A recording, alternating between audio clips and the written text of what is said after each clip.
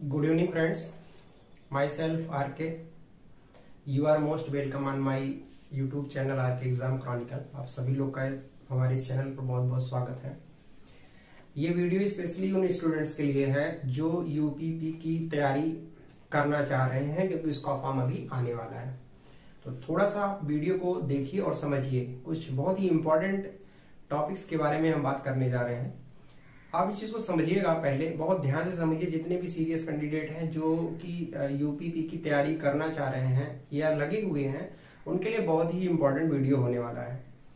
सबसे पहले तो मैं ये बता दूँ कि जो ये हमारा चैनल है, इस पे मैं मैथमेटिक्स पढ़ाता हूँ। मैं इसमें यूपीपी का मैथ्स पढ़ाऊँगा, जो कि आज नहीं, कल से शुरुआत करूँगा, लेकिन आज मैं कुछ सिलेबस के बारे में डिस्कशन करूँगा उसका, कि क्या क्या उसमें सिलेबस है, कैसे क्या करना है, और किन चीज़ों को आपको बहुत ध्यान देना है। तो बहुत ध्यान से आप समझिए सारी बातों को।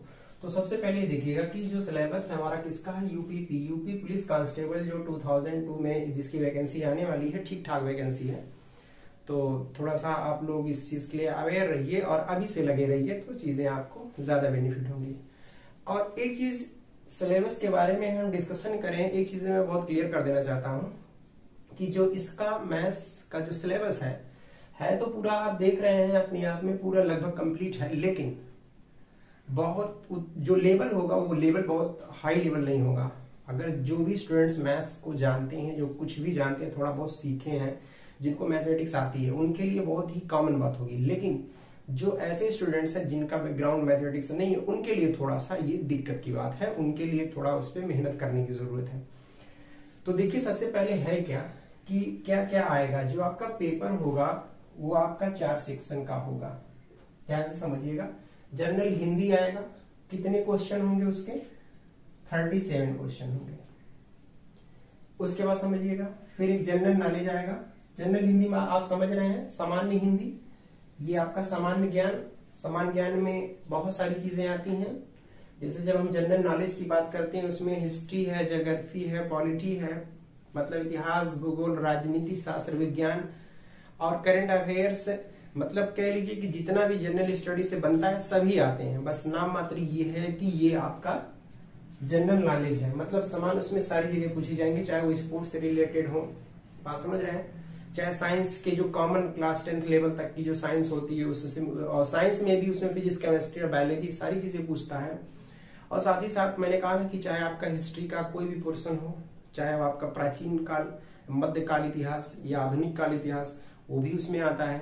और साथ ही साथ पॉलिटी जब आप पढ़ेंगे जनरल चीज़ें, वो भी उसमें आएगी। तो कहने का मतलब सामान्य नॉलेज में, सामान्य ज्ञान में सारी चीज़ें आ जाती हैं जो आपका जनरल नॉलेज में आता है। उसका थर्टी एट क्वेश्चन होगा।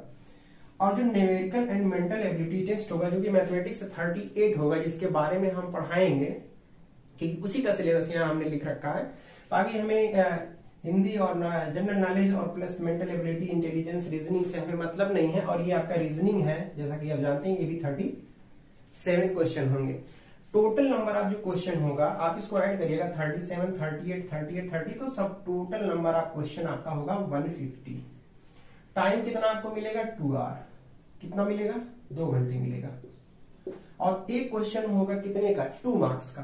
तो टोटल हो गए थ्री हंड्रेड मार्क्स क्योंकि भाई आपको मालूम है 150 क्वेश्चन है और एक question each question carry two marks तो टोटल नंबर ऑफ़ मार्क्स कितने होंगे? ये हो गए निगेटिव मार्किंग भी होगा वन फोर्थ होगा। कहने का मतलब जैसे। बात समझिए। जैसे मान लीजिए हम इसका मैं आपको मतलब समझा दू। बहुत सारे ऐसे बच्चे जो निगेटिव मार्किंग का मतलब नहीं समझते वन फोर का क्या मतलब हुआ। जैसे समझो भाई। बहुत ध्यान से। आपने एक क्वेश्चन किया, दो किया, दूसरा किया, तीसरा किया, चौथा किया, पांचवा किया। पाँच क्वेश्चन आपने किया। सपोज़ करिए। अब जो वन बाई फोर है, इसका ये मतलब है कि पाँचों आपने किया, जिसमें से एक सही किया, बाकी सब गलत कर दिया। सब गलत कर दिया। ए भी गलत किया ए भी किया, सब चार गलत कर दिया। बात समझ रहे चार आपने क्या कर दिया? गलत कर दिया। तो मिला जुला के सब आपका क्या हो गया? बैलेंस हो गया। बात समझ रहे मतलब चार क्वेश्चन आपने एक सही किया, चार गलत किया तो जो एक सही था, वो सब लेके बैलेंस हो गया। तो कोशिश ये इसमें होनी चाहिए जो जो भी एग्ज़ाम नेगेटिव मार्किंग के होते हैं कोशिश इसमें होनी चाहिए कि जो चीज़ें आप सबसे पहले तो जो एकदम श्योर हो। जैसे जब नंबर आप क्वेश्चंस आते हैं तो उसमें आप ये समझिए जैसे आपके सामने पेपर आया पेपर में जो क्वेश्चन एकदम आप श्योर हो सबसे पहले वो करें। ऐसा भी नहीं है कि पूरे पेपर में को, कोई श्योर नहीं है। कुछ क्वेश्चन ऐसे होंगे जिसपे आप श्योर होंगे आपको आता होगा। आप पहले कोशिश करिए कि स्पीड से पहले वो करिए। उसके बाद स्पीड से। पहले क्वेश्चन से ही आपकी स्पीड मेंटेन होनी चाहिए। ऐसा नहीं कि शुरू कर रहे हैं। और ज़रूरी ये नहीं है कि आपने पहले से स्टार्ट किया। दिक्कत यहाँ भी आती है। अभी मैं उसके बारे में बाद में डिस्कशन करूँगा। पहले मैं बता देता हूँ। तो आप देख रहे हैं 150 क्वेश्चन रहेंगे। टोटल 300 मार्क्स का रहेगा। One by four negative marking है। और नंबर ऑफ़ क्वेश्चन आप समझ गए। अब आपको जो मैथ्स में जो मेंटल एबिलिटी टेस्ट या न्यूमेरिकल है, इसमें आपको पढ़ना क्या क्या है, मैं वो बता देता हूँ। नंबर सिस्टम जिसको आप हिंदी में कहते हैं कि संख्या पद्धति बोलते हैं। सिंप्लीफिकेशन जिसको आप सरलीकरण कहते हैं। सरलीकरण, आप लिख सकते हैं। ये आप सिंपली लसा मासा लघुत्तम और महत्तम लसा और मासा। महत्तम समापवर्तक डेसिमल और फ्रैक्शन दशमलव और भिन्न। बहुत ही आसान है। दशमलव और भिन्न है। ये भी आपका है सिलेबस में। रेशियो जिसको आप अनुपात कहते हैं। बहुत कॉमन कॉमन क्वेश्चन आएगा। परसेंटेज मतलब प्रतिशत प्रतिशत और क्या? बट्टा। बट्टा मतलब जिसको छूट बोलते हैं। प्रतिशत और बट्टा है। लाभ और हानि है। लाभ और हानि, ये सब आपके मैथ्स में पढ़ना है। मैं इसको इस वजह से बता रहा हूँ क्योंकि मेरी सिर्फ़ मैथ्स की क्लास होगी। टाइम एंड वर्क है, जिसको आप बोलते हैं समय और समय और कार्य, या कार्य और समय, जो भी आप कह लीजिए। ये देख रहे हैं, साधारण ब्याज और चक्रवृद्धि ब्याज simple interest and compound interest एक को बोलते हैं कि साधारण ब्याज, और दूसरे को बोलते हैं चक्रवृद्धि ब्याज। बहुत क्वेश्चन आते हैं इससे, और बहुत ही ऐसे क्वेश्चन फॉर्म होते हैं जो आपको दिक्कत करता है। पार्टनरशिप, जिसको आप बोलते हैं, क्या चीज़? पार्टनरशिप को हिंदी में बोलते हैं साझेदारी। क्या बोलते हैं? साझेदारी। थोड़ी सी इसकी हिंदी प्रॉब्लम करती है। डिस्टेंस का मतलब दूरी। ये आपको पढ़ना है। मेन्सुरेशन का मतलब क्षेत्र मिति अब आप एक चीज़ बात समझिएगा। मेन्सुरेशन जो यहाँ दिया है क्षेत्र मिति दिया है। इसका ये मतलब नहीं है कि खाली आपको मेन्सुरेशन में सब पढ़ना पड़ेगा। जैसे वर्ग है, स्क्वायर जिसको स्क्वायर आप बोलते हैं, फिर आयत है, फिर ट्रेंगल है मतलब त्रिभुज है, फिर सारे कॉर्डिलेटरल है, और फिर उसके बाद वॉल्यूम का जितना भी होता फार्मूला फॉर्म होता है तो क्षेत्र मिति जो है मेंसुरेशन अपने आप में पूरा कंप्लीट है। अब कोशिश ये देखिए, समझिएगा। देखिए, होता क्या है एग्ज़ाम में अब ज़रूरी ये इस बात का नहीं है कि कौन में से क्या कितना आएगा। जब जैसे उसने सिलेबस में ये लिख दिया अब इस बात की कोई गारंटी नहीं है कि वो सबसे ज़्यादा इससे क्वेश्चन दे दे इससे दे दे। हालाँकि कोशिश पेपर में इतना बैलेंसिंग रहता है कि सबसे आता है। लेकिन किससे कितना आए, इस बात की कोई गारंटी नहीं है। ऐसा, लेकिन पढ़ना तो हमेशा पड़ेगा ना। हो सकता है कि हमें ये, अभी कितने लोग क्या करते हैं कि भैया, ये ऊपर से यहाँ तक पढ़ लो, नीचे वाले को छोड़ दो, इतने में से जो आएगा। तो नहीं ऐसा नहीं कर सकते। आप बिल्कुल नहीं छोड़ सकते। हो सकता आपने ऊपर वाला पढ़ा हो क्वेश्चन इधर से ज़्यादा बना दे। मतलब ये हुआ कि क्वेश्चन सभी से कुछ ना कुछ आएगा, लेकिन हो सकता है किसी से दो चार क्वेश्चन एक्स्ट्रा आ जाए, ज़्यादा आ जाए किसी से कम आ जाए। तो ये चीज़ें प्रॉब्लम होती है। तो आपको पढ़ना सब पढ़ेगा। कि चाहे वो क्या हो नंबर सिस्टम सिंप्लीफिकेशन एस अब आपने देखा पूरा। अभी मैं शुरुआत जब करूँगा तो यहाँ से स्टार्ट करूँगा, लेकिन मैं इस चीज़ को आपको बता रहा हूँ इसके सिलेबस में आपको पढ़ना क्या है यूपीपी के लिए मेनली अब बात ये आती है कि दिक्कतें कहाँ आती हैं? जब आप कुछ पढ़ने के बाद जब आप पेपर देते हैं तो कहाँ कहाँ प्रॉब्लम आती है? मैं उसके बारे में आपको बता रहा हूँ। देखिए, दिक्कत कहाँ से होती सबसे पहले होता क्या जैसे पेपर मिला आपको, आपने फ़र्स्ट पेज को ओपन किया और पहला क्वेश्चन आपने देखा टफ है, नहीं आ रहा है। दूसरा देखा, वो भी नहीं आ रहा तीसरा देखा, वो भी नहीं आ रहा बाई मान लीजिए। जैसे जो बहुत अच्छे कैंडिडेट है, ऐसा नहीं है कि जो बहुत अच्छे हैं, हो सकता है पहला, दूसरा, तीसरा किसी के साथ हो सकता है। तो हो सकता है पहला, दूसरा, तीसरा ना है तो सब सब छोड़ दीजिए। चले जाइए एकदम आगे। आठवें पे चले जाइए, नौवे पे चले जाइए, फिर बैक आइएगा। पहले, दूसरे पे टाइम रहेगा तो। मतलब आप क्या करिए स्किप कर जाइए, छोड़ दीजिए। मगर छोड़े रहिए दिमाग में रखे रहिए कि हमने कौन कौन सा छोड़ा है, वो तो पता चलता है।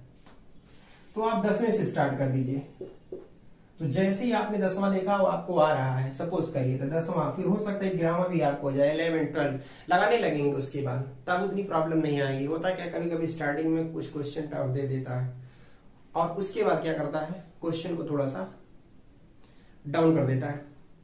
और शुरू में जैसे कुछ प्रॉब्लम आई और वहीं से आपका क्या होता है? फ्रस्ट्रेशन स्टार्ट होता है, फिर आपके पेपर डिस्टर्ब होते हैं, फिर आप टाइम मैनेज नहीं कर पाते और फिर चीज़ें गड़बड़ हो जाती हैं। तो कोशिश ये होनी चाहिए कि जैसे ही पहला क्वेश्चन आए, वहीं से आपको एनर्जेटिक रहना है, पूरा एनर्जी के साथ लगना है। ऐसा नहीं कि पहला, दूसरा, तीसरे की बात नहीं नहीं, ऐसा नहीं है। फ़र्स्ट पेपर से ही स्पीड एकदम मेंटेन होनी चाहिए आपकी।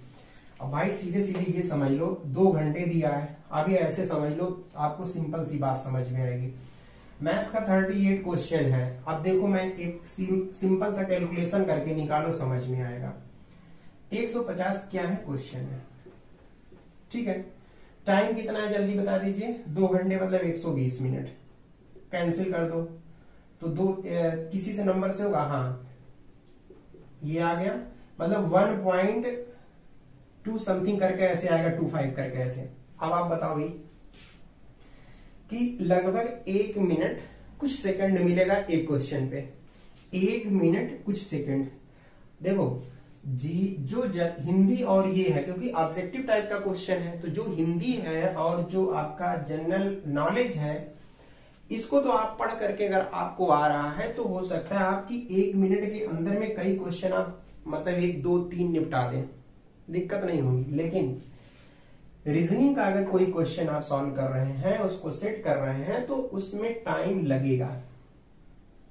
अब वो प्रैक्टिस पे डिपेंड करता है कि एक मिनट के अंदर में कर रहे हो कि एक मिनट से ज़्यादा ले ले रहे हो मैथ्स के बहुत सारे ऐसे क्वेश्चन मिलेंगे।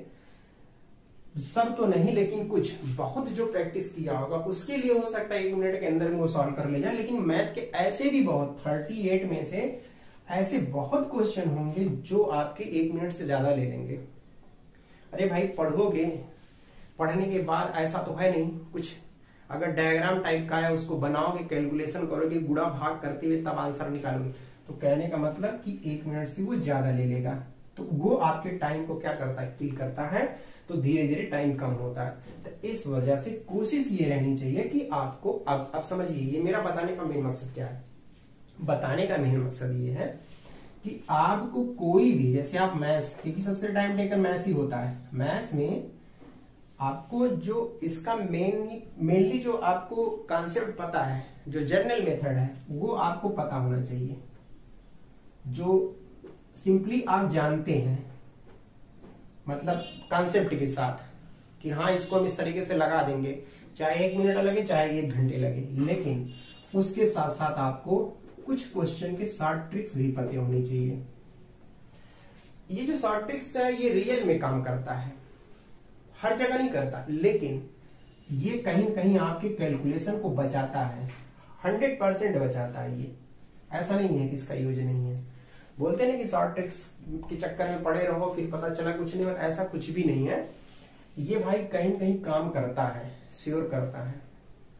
जैसे आप कोई कैलकुलेशन करते हुए जा रहे हो हो सकता है कहीं ऐसी, ऐसा सिस्टम हो जहाँ शॉर्ट ट्रिक्स आप जानते हो और बहुत लंबा कैलकुलेशन करने के बजाय बहुत जल्दी आप निकल जाए सॉल्व करके। पढ़ाएँगे जब इसमें तो बताएँगे, देखिए कैसे, कहाँ पे आप जनरल मेथड यूज़ कर रहे हैं। और मैं आपको बताऊँ, हालाँकि याद तो रहेगा आपको जो जनरली आप, जो आपका कॉन्सेप्ट है, जो आपने बहुत दिनों से सीखा है, वही आपके साथ एग्ज़ाम में रहता है। और बहुत प्रैक्टिस किए हैं तो कुछ क्वेश्चन के शॉर्ट ट्रिक्स रहते हैं तब आप जाके जनरली सारा क्वेश्चन कर ले जाते हैं। मोस्ट ऑफ़ द क्वेश्चन आप अटेम्प्ट करते हैं। लेकिन अगर इन दोनों में से जनरल मेथड तो फ़िलहाल कंपलसरी हो तो आना ही चाहिए। मतलब वो कॉन्सेप्ट जो आपके पास खुद का बना हुआ है वो तो आपके पास होना ही चाहिए। ये थोड़ा साथ साथ रहेगा तो आप सक्सेस हो जाएँगे। बात समझ आए?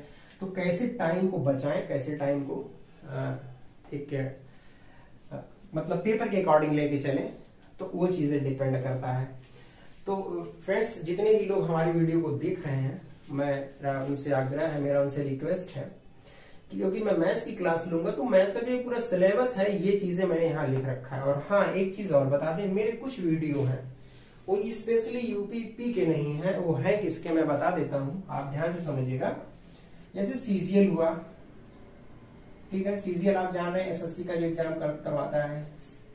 उसके बाद चाहे वो बैंकिंग का हो या रेलवे का हो, ठीक है, या सीडीएस का हो, ये जितने भी एग्ज़ाम्स होते हैं, उसके मेरे बहुत सारे वीडियोस पड़े हुए हैं। आप जाइएगा हमारे प्लेलिस्ट में देखिएगा।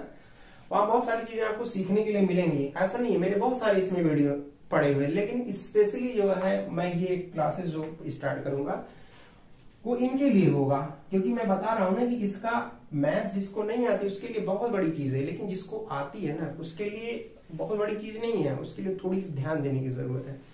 लेकिन भाई, जो एकदम मैथ्स नहीं जानते, उनके लिए थोड़ा सा टफ है। तो फ्रेंड्स, ये था आपका मैथ का सिलेबस। एग्ज़ाम होने वाला है। फॉर्म आएगा, उसका वेट आप करते रहिए। लेकिन पढ़ाई को ब्रेक मत करिए, पढ़ाई को करते रहिए।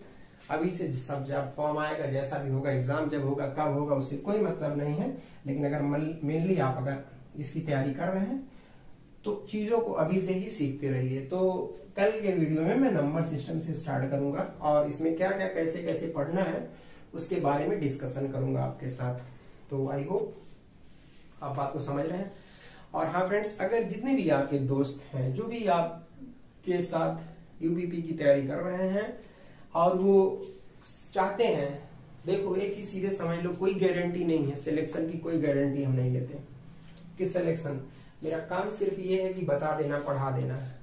आ, ये डिपेंड आपके ऊपर करता है कि आप मेहनत कितना करते हैं तो आप सिलेक्ट होंगे नहीं करते हैं तो नहीं सिलेक्ट होंगे।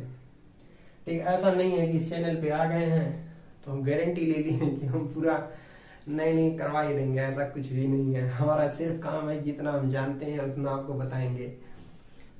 सारा मेहनत आपका होता है, किसी का कोई कंट्रीब्यूशन नहीं होता। सारा का सारा, जो भी हाँ हमारा गाइड हम बता सकते हैं, जितना जानते हैं, हम सिखा सकते हैं। उतनी चीज़ों के बारे में बताएँगे। करना आपको है, जब तक आप नहीं करेंगे, आप नहीं सक्सेस होंगे। तो कोशिश करिए, आप इस चीज़ को, मेरे वीडियो को ज़्यादा से ज़्यादा अपने उन दोस्तों को शेयर करिए, जो लोग यूबीपी की तैयारी करना चाहते हैं और स्पेशली सीरियसली लगे हुए हैं, उनके पास ये शेयर करिए, क्योंकि नेक्स्ट वीडियो में हम नंबर सिस्टम से शुरू करेंगे। और हाँ अगर आप देखना चाहते हैं तो जाकर के हमारे प्लेलिस्ट में बहुत सारे वीडियोस ऐसे पड़े हुए हैं। बस थोड़ा सा मैंने कहा ना वो ये सारी चीज़ों के लिए। और जब आप थोड़ा हाई लेवल की चीज़ों को समझ के पढ़ते हैं तो ये छोटी चीज़ें आपके लिए आसान हो जाती हैं। हालाँकि छोटा कुछ भी नहीं होता, सारी चीज़ें अपने आप में परफेक्ट हैं। पढ़ना सबके लिए होता है। तो चलिए गाइस आई होप आप समझ रहे हैं। और अगर आपको ये वीडियो पसंद आया हो, अगर आपको बातें समझ में आई तो प्लीज़ इसको लाइक करना सब्सक्राइब करना शेयर करना बिल्कुल मत भूलिए। नेक्स्ट वीडियो में हम नंबर सिस्टम के साथ आपसे मिलेंगे। तब तक के लिए धन्यवाद। थैंक यू सो मच जय हिंद।